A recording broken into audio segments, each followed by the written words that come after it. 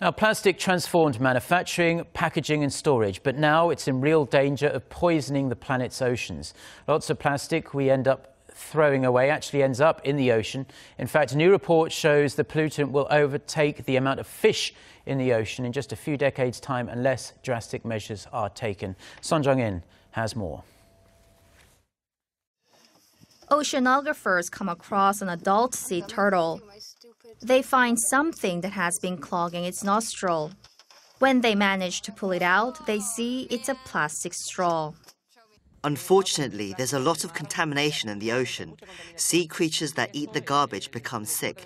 They lose their sense of direction and wash up on the seashore.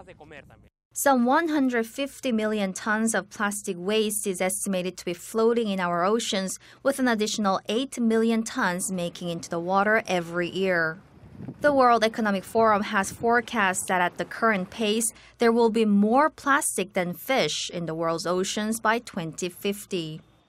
According to its report published on Tuesday, the main problem is that plastic is often disposed of after only being used for a short amount of time and is not properly recycled.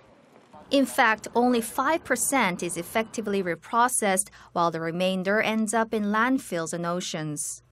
The report says that tackling the problem requires the joint efforts of consumer goods companies, plastic packaging producers, authorities that manage waste, and policymakers. Plastic is one of the world's most popular materials, and its use has increased 20 fold over the past 50 years, with the rate only expected to multiply in the coming decades.